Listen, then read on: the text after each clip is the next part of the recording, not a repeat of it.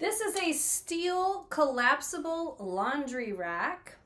So when it first arrived, we did have to put it together, but it did not take long at all to put it together. And now we have this very nice, attractive looking laundry dryer.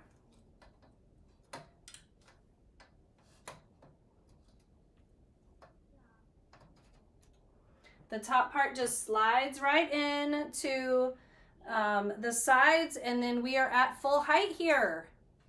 So this is a larger one as far as ones that I've ever found and I have clothespins on it for myself um, because I like to use this outdoors. I don't leave it outdoors because steel might rust but I put it outdoors during the day to dry off our swimsuits and our towels and it's wonderful. So I have really liked this. It works super, super well. There's so many different places to hang things.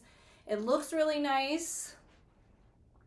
And then when I'm not using it, I can collapse it down. So let me just show you up close. You just pull up on the sides.